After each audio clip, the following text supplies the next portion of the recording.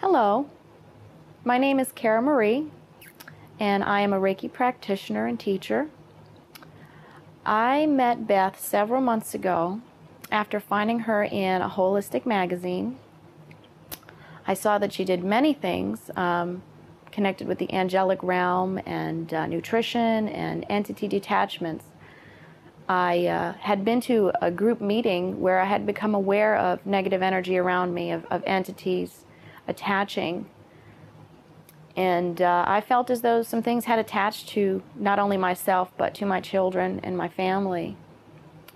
Uh, so when I came to see her, she did an entity detachment for me, and it was such a positive experience. Um, as I sat there and she went through the process, uh, I could feel myself moving and I could feel things releasing from me. I could feel myself just getting lighter and lighter and, and just being uplifted and unaffected by things that shouldn't be affecting me.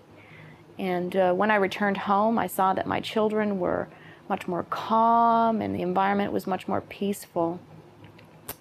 Uh, I later, later had to uh, call Beth for future entity detachments, being that I, I work with people. They bring guests that get left behind, and uh, some of them more dramatic than others.